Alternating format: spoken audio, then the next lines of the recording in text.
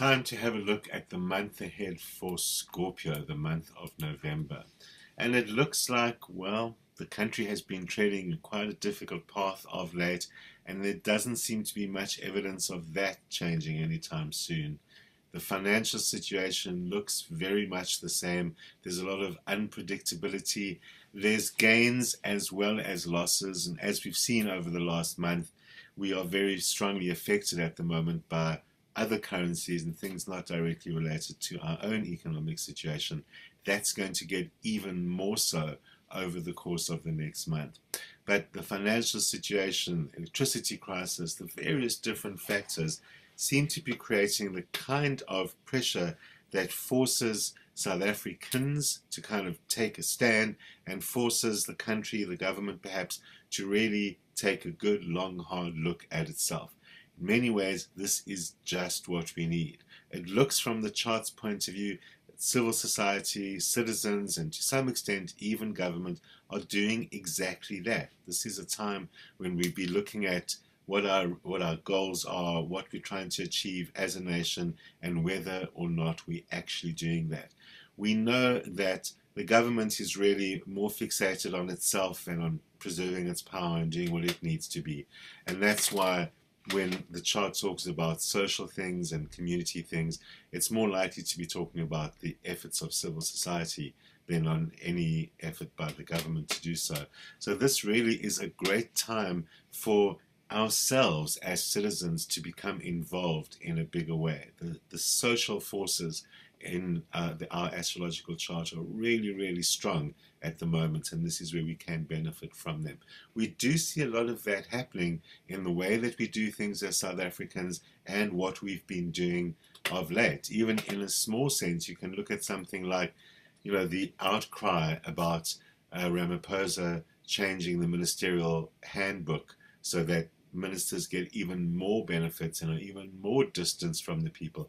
He responded to that because it was a kind of exposure of a, a very obvious double standard. There's obviously plenty more double standards we can aim for, and we need to take advantage of those kind of things. Good old strike while the iron is hot. It does look like the power lies with us at the moment. Opposition forces are somewhat in disarray. While there's a certain amount of gain being shown to them, maybe that's to do with uh, getting Phala Phala looked at more closely, various different things that uh, they have achieved. But for the most part, the most erratic part of the chart remains the opposition. So not only um, do we have the problem of a government that is really self-interested, we also have weak opposition uh, in this country at the moment, or fragmented uh, opposition in this country at the moment. And that again takes it back to us. And we look at the chart right now and we see where are the strong points and where are the weak points. The strong point is the people. The weak point is the opposition. And as we've said before, the government is just busy doing its own thing and is largely, I guess, disconnected from both the people and the opposition and is running this ship alone. We know that tends to really um, run the country to suit the party and to suit the government. And that makes more sense than ever in the chart at the moment. It might be something that's been true for a very long time, but the fact that it's now beginning to show so clearly in the chart portends some change, both in the growth of civil society and opposition from the people as well. But it really does look like the people and the various different factors, business, etc., in the country are beginning to look to further resources to achieve what they need to achieve. What this can be interpreted as astrologically is that the the government is losing its hold on the information and on the voters.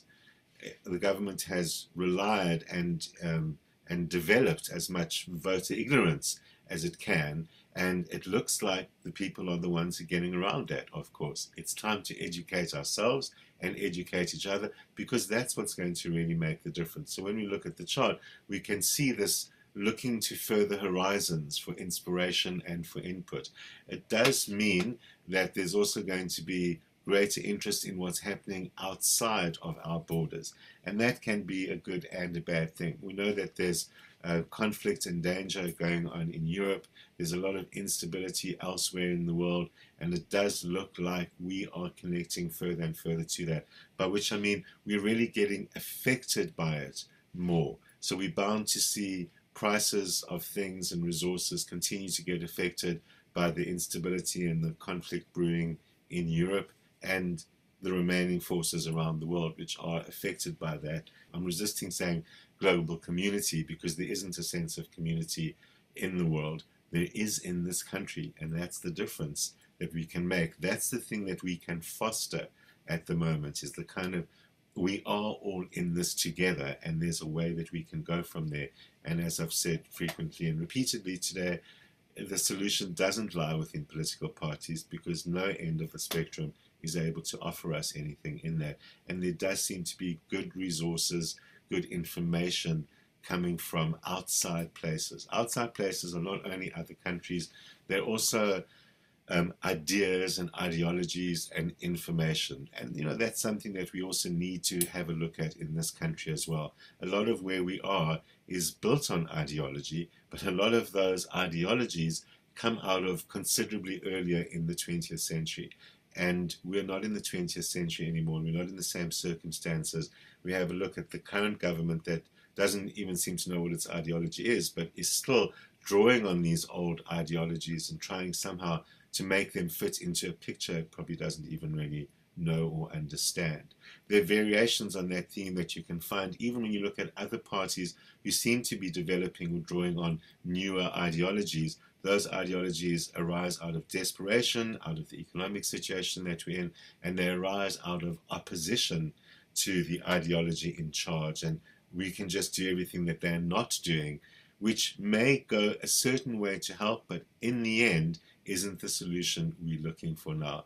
The chart is showing it's time to develop new ideas and new ideologies. And the only safe place to start, that's why people and civil society, intellectuals, sources of ideas, uh, universities, etc., rather than those already in politics. It's difficult. How exactly do we implement that? We have to rely on those intellectual leaders and leaders of policies to do that. But it's time to realign ourselves as South Africans rather than looking at what, which party should I belong to. It's where do I find my ideas that I can help grow and invest my energy there, and perhaps in the future we'll have a better, better party system that can help with that. In the long run, we're heading to elections and the battle of ideologies still a couple of years ahead, but we can already see all of that getting into place time to get our own ideas and ideologies in place so that in the future we'll be voting from that point of view rather than the party that sways us with the greatest rewards. For Aries, this is a month of exploration for you. It's time to have another check in with what's going on around you, your immediate environment. We often ignore our own neighborhood, neighbors even, and we look for far off places and interesting things out there without knowing what's going on right around us. Well, Aries, this is the time to find out all the riches that are available to you. It's not just about exploring the neighborhood. There are resources available to you, there are new people available to meet, and of course, perhaps people who can help you on your way in some fashion. It seems that by connecting locally, you will reach out far and wide. It's another way of saying expect things where they aren't usually found. That's people, that's resources, and that's opportunities. So that's the real secret motivation for why you need to reconnect with what's going on around you. What you thought you knew is actually able to provide you with what you didn't know was there or what you may not even really know you needed. It's going to advance your goals specifically as well as personal goals, professional goals, whatever they may be. It's a great opportunity to go ahead. Also important to get your creativity fired up for those goals, but make use of what's available to you in a creative way. You're doing what needs to be done. Taurus is all about getting back to basics and knowing what's really for you and what isn't going to help you at all. Whether that's people, whether that's opportunities and resources, whatever it may be, you need to kind of sort the wheat from the chaff. And that might mean confronting a few people or situations. The good news about that is this doesn't look like it's some kind of difficult confrontation or even uh, aggressive or any of those kind of things that confrontations usually are. You'll find people amenable and willing to negotiate. So, this is a month of negotiation for you. That's also going to benefit your personal life. This is a great opportunity to kind of weave together and interpolate what you want, what your partner wants, what's going on around you, and everything will seem to work in this much more cooperative fashion. That's really what this month is going to have to be all about cooperation. But that does not mean yielding or putting yourself second or too much compromise. The challenge to you is be firm and clear. Don't compromise, but do cooperate. And with that kind of mantra in your head, don't compromise, but do cooperate, you'll find that happy balance that you're looking for and be able to attend to your own needs, which are the most important things right now. You're going to have to make some big changes to be able to do that, but keep things in balance and your changes will come to fruition. Geminis, it looks like you could be lacking some of that balance at the moment, and most likely too much going on and not enough taking a break, which sounds like the perfect solution exists for that. More fun, more holiday, more taking a break, which is great. And that doesn't mean you must slack off, because if you just slack off, you're going to have unbalance in the other direction. So balance needs to be found. Your symbolism of the twins is about versatility, but it's also about the need for balance and the difficulty in finding it, and sometimes that feeling of pulling in two different directions. So cut out all the external unnecessaries. Make sure that you're focusing goals wise on what's important to you and what's really going to serve you in some way. But more importantly, balance that out with more time for yourself, time for things that you love to do, and maybe even time just doing nothing. You look like you've got way too much on your plate at the moment. There are all sorts of extras. I'll call them extra stimulating things. So they may seem great and useful and interesting, and they probably are. But right now, they're a little bit like too much of a good thing. So you need to simplify, bring things back down to the minimum, and ask yourself, what do I really need in terms of my goals, and how can I balance that with an equal amount of simple relaxation. Cancer, you've also got a little bit too much going on, and it's not just a question of balance and getting your balance sorted out. It's really a question of taking care of yourself, down to taking care of your health, taking care of your world, taking care of your relationships. It could be that there's just too much going on, but even if it doesn't look like you've got an awful lot on your plate, you really still need to look back at yourself in extreme cases, your health could even be suffering. So maybe what you thought was tiredness or a cold or whatever is really just your body saying to you, hey, take it easy. I need a bit of a break as well. This isn't about finding breaks and having more fun. It's really just about not weighing yourself down with too many stressful things that are demanding your attention in all sorts of different directions.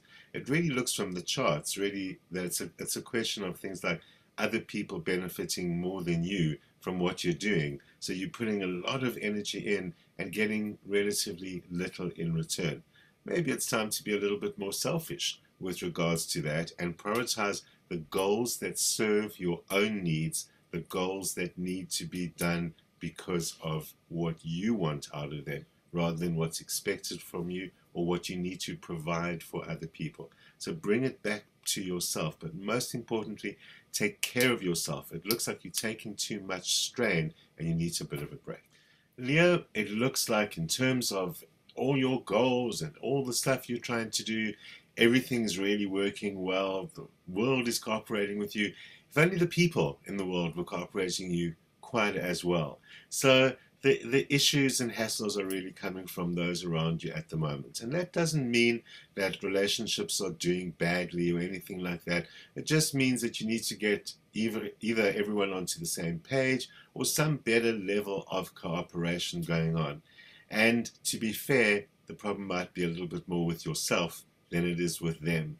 So sometimes, in order to cooperate, your leadership style is a little bit too strong. And although Leos are great leaders and are especially good at getting everyone together to achieve a common goal. And if you're in a creative sphere, that's all the truer. That doesn't change, and you're still going to have to do a lot of that. But you also need to sometimes have a little bit more tact and compassion and those kind of things that just ensure that your leadership is not coming across too strong. So then it means you need to make some changes, be willing to back down, be willing to change some things, and that's what's going to help others let go of whatever they might be hanging on to. So you change a little bit, they change a little bit, but we can all get together and follow your goal to get greater cooperation with a much better result. Virgo, the way things are being done at the moment, the way your plans are busy unfolding, etc., isn't quite working according to plan. And it's time for you to perhaps change some of those plans because not only is the frustration going to increase, but it looks like you're leaking energy, resources, enthusiasm, all of those kind of things could just drain away, and you don't want that to be happening.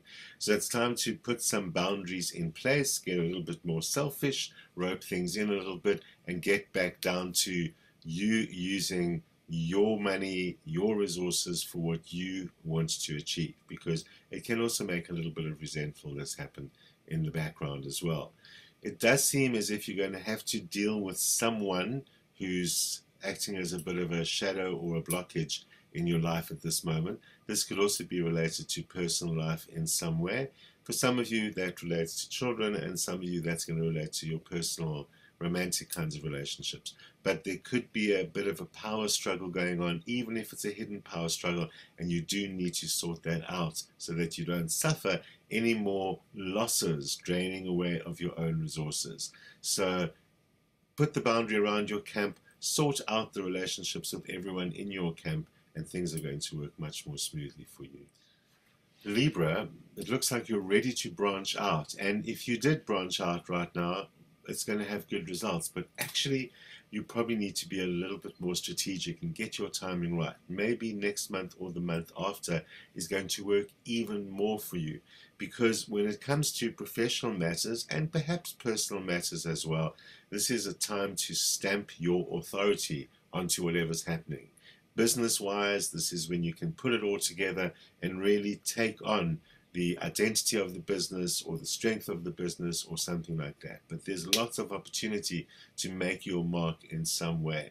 It also means a little bit of sticking with your guns, maybe you know, sticking with what you've already established and making sure that everyone's going along with that as well. But there is room for new input and expansion as long as that core is there that says, I'm really just um, re establishing and enforcing the establishment of what I've achieved so far. That could be something like brand or something. Don't mess with it now. You're just at the point where everything is getting into place. And the same is happening in your personal life. Things are beginning to fit into exactly where they need to be for a while. Be careful that you don't upset your own apple cart by being unnecessarily confrontational or forceful. Work with what you have, build on that. Don't create anything new just yet. Scorpio, it's time to kick everything into action. All the ducks you've been lining up, everything that you've been preparing, all the resources you've been acquiring. No more time to procrastinate or wait for the right moment. The right moment has arrived. So get things into action. It's not the same as expecting immediate results. There won't be immediate results. This is the month of making it happen, and then in the months ahead, you'll see the results coming out of that. In the meanwhile, a little bit of action right now goes a long way. What is important is to put your creative energy behind what you're doing. In astrology, creativity doesn't necessarily mean the arts. It means you putting your energy into something, you putting your stamp on something, you being the source of what's going on around you. So, Scorpio, it's time to be the source of what's going on around you.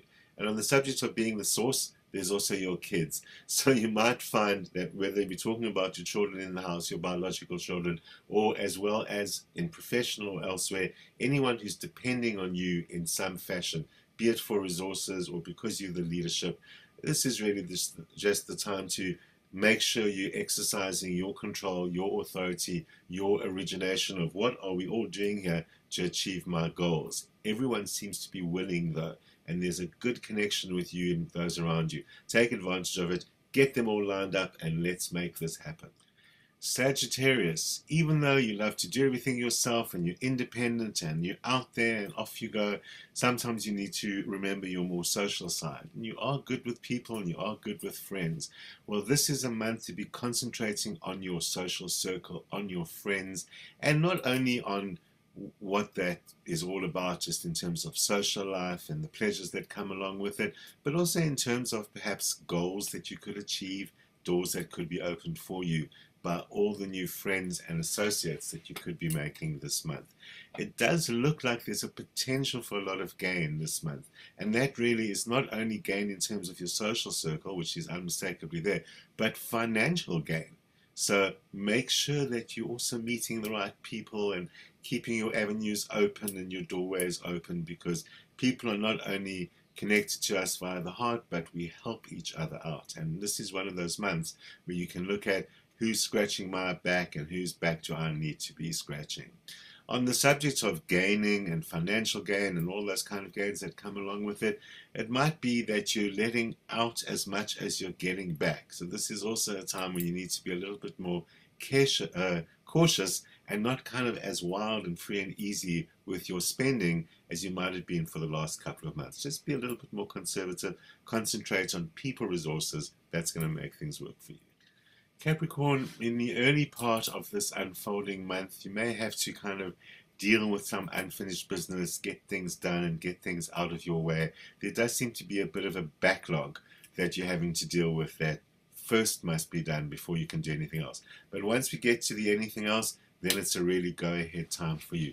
This does mean that you're going to have to let go of a lot of old baggage that you've been carrying around. And this is the baggage that you want to let go of. It's not um, things that you're comfortable with. You know that you've outworn them. You know that there's some big changes that you need to make. Well, this is the time that you should be making them. Let go of all of those things means um, putting new things in their place. So this is a great time for be it renovating, for changing something quite fundamentally and getting new structures in place in some way. In your professional life, it's time to establish new systems as well as perhaps establish some authority.